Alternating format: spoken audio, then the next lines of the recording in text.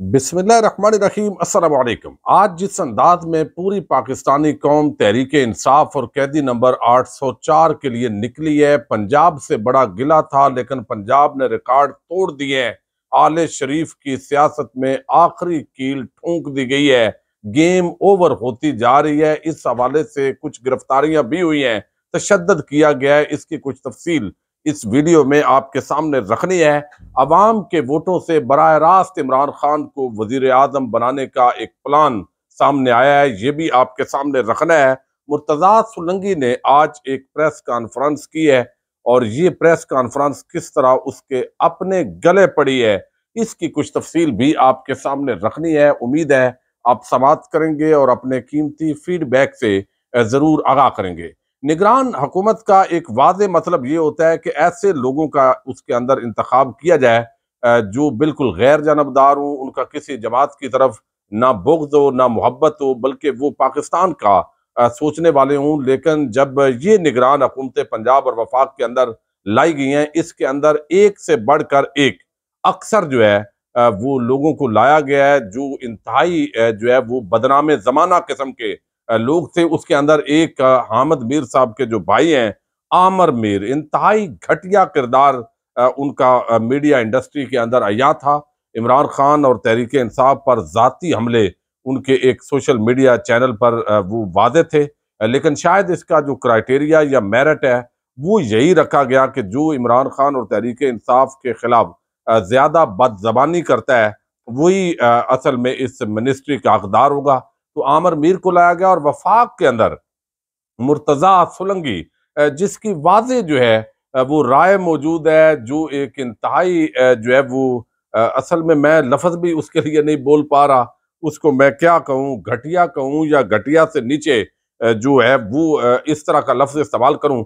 अब ये इसका क्राइटेरिया था, जब वो आया पहले दिन जिस दफ्तर के अंदर वो था मीडिया का वहाँ गया, जाते ही उसने मुझे ऐनी शहर जो वहाँ ऑफ़िस के अंदर है, उन्होंने बताया कि भाई रूटीन के मुताबिक आते हैं उस दिन।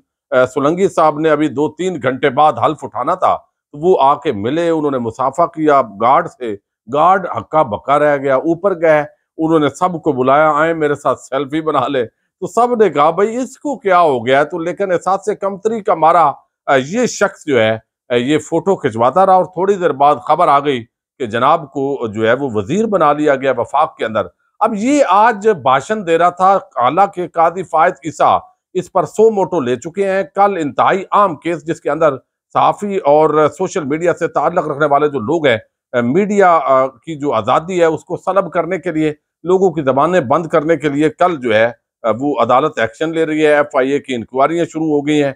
आठ फरवरी को इलेक्शन है, उससे पहले इस तरह का माहौल बनाया गया है। तो अब बजाय इसके कि इस केस का इंतज़ार होता, आप देखें इन लोगों को काजी साहब पर कितना एतमाद है। यानी इलेक्शन कमीशन ने काजी साहब की अदालत में जब समात हो रही थी तो इस दौरान ही उन्होंने उससे पहले ही छपवाई शुरू कर दी डॉक्यूमेंट्स की। केस हालाँकि फिक्स हो चुका था और उनको इतना एतमाद था कि हम जो कागजात नामजदगी, जो निशानात फिक्स कर रहे हैं, बल्ले का उस पर निशान नहीं है क्योंकि बल्ला आने ही नहीं है तो वो एतमाद पर पूरा उतरे काजी साहब और फिर जो है, वो ऐसे हुआ कि अब इनको भी पता नहीं कितना एतमाद है और आज इन्होंने प्रेस कॉन्फ्रेंस की है जो कि नहीं करनी चाहिए थी। अब वहाँ पर जो इन्होंने बातें की, वो तो कोई गैर आम बातें। हैं यानी कि हमने ये कार्रवाई की, इतनी इन्वेस्टिगेशन किसी को हरासा नहीं कर रहा है, अभी इन्वेस्टिगेशन हो रही है। ये सारी चीज़ें इन्होंने बयान की, लेकिन उन्होंने कहा, जजों की तोहन करने वाले जो है, उनको माफ़ तो नहीं किया जा सकता, लेकिन इनका जो कच्चा चट्टा खुला है,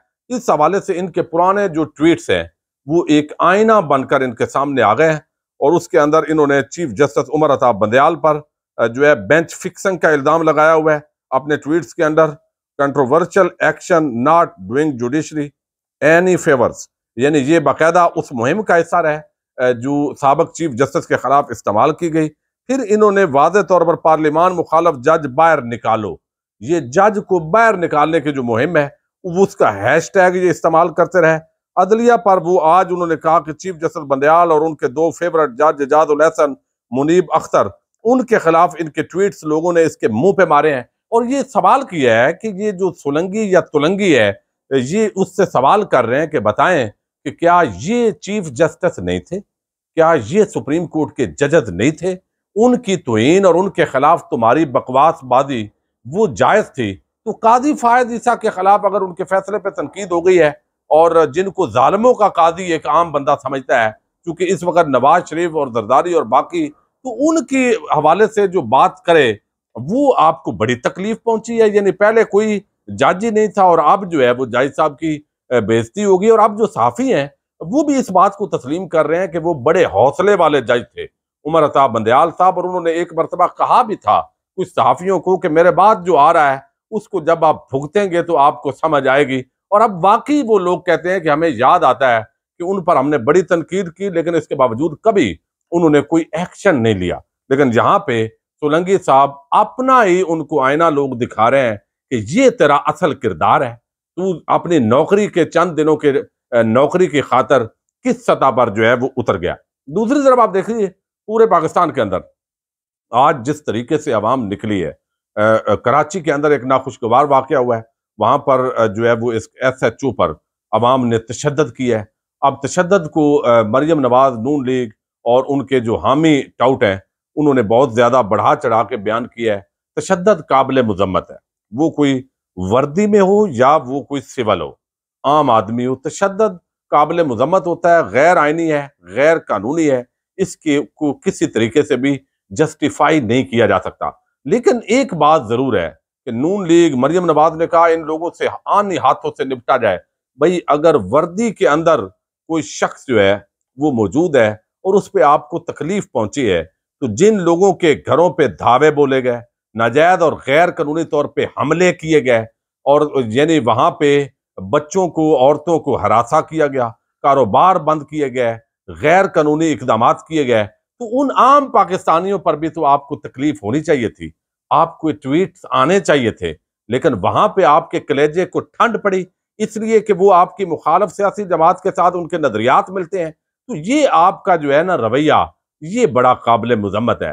लेकिन मुख्तलिफ़ जगहों पर आपने देखा, और ऐसा भी हुआ, हमने देखा कि वहाँ पुलिस पीछे पीछे है, लड़के आगे आगे हैं, और वो उनको भगा रहे हैं, और फिर दूसरी तरफ़ जो है, वो कई जगहों पे खातन को पुलिस ने गिरफ़्तार किया, मर्दों को गिरफ़्तार किया, कराची के अंदर आँसू गैस शेल फायर किए गए।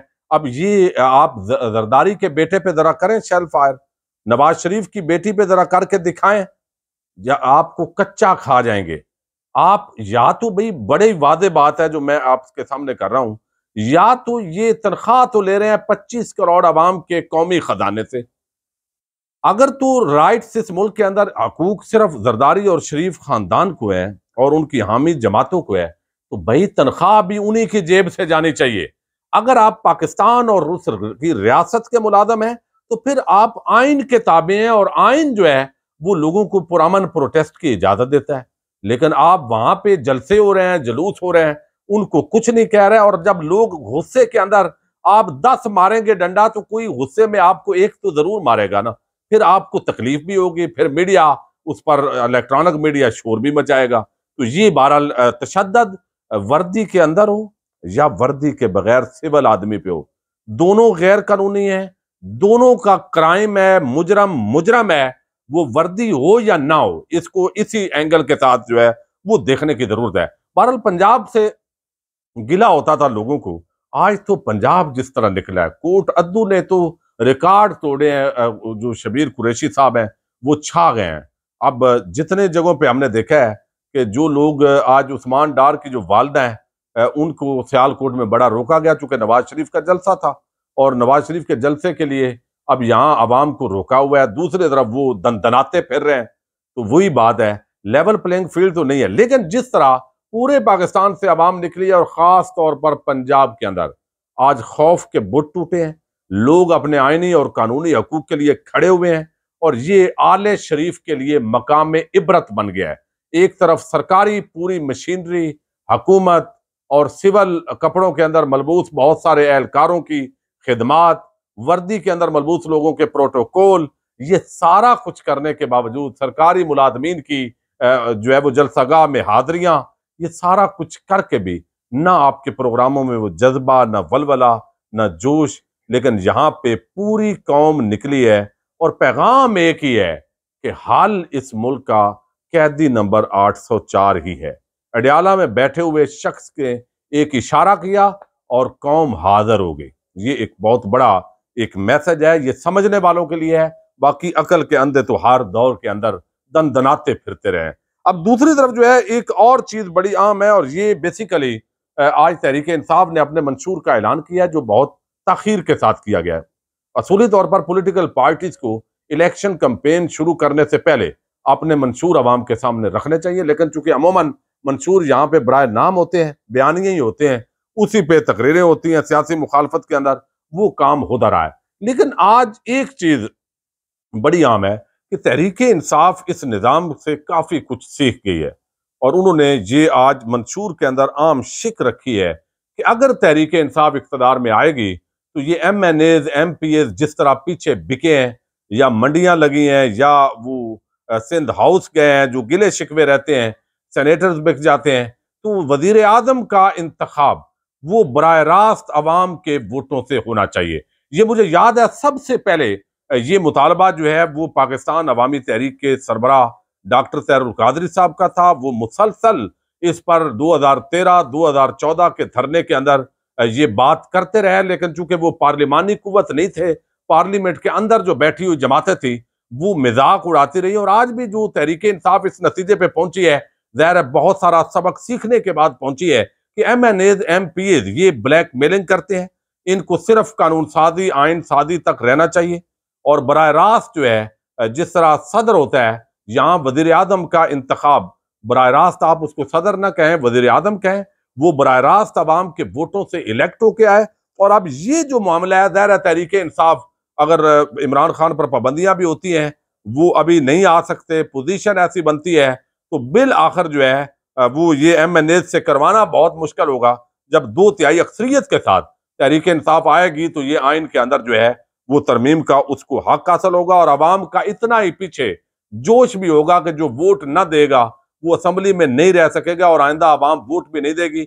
ये ताकत और जोश अगर आवाम का बरकरार रहा तो ये इंतहाई अच्छी शिक है। कि वज़ीर आदम का इंतखब बर रास्त आवाम के वोटों से होना चाहिए। उसको अपनी काबीना वो तश्कील दे, पार्लियामेंट से ले या बाहर से माहरीन की टीम ले और चार साल जो है वो असम्बली को सर्व करे। तो कौमी असम्बली की जो मुद्दत है वो चार साल उन्होंने तजवीज़ की है। पाँच की बजाय चार साल होगी, सैनट की छः की बजाय पाँच साल जो है वो इसके अंदर तजवीज़ की गई है। और पचास फ़ीसद सेनेटर्स को आवाम से बर रास्त मुंतखब करवाया जाएगा।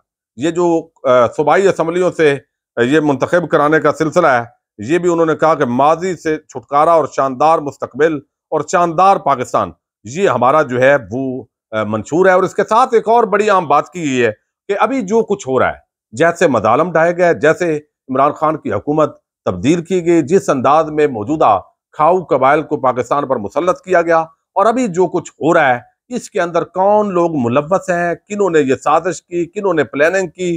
कोई लंदन प्लान था? नहीं था। ये सारी चीज़ों पर ट्रुथ एंड रिकनसोलिएशन कमीशन कायम किया जाएगा। हम रूल ऑफ़ लॉ पर ज़ोर देते हैं। एक मुल्क में दो कवानीन नहीं हो सकते।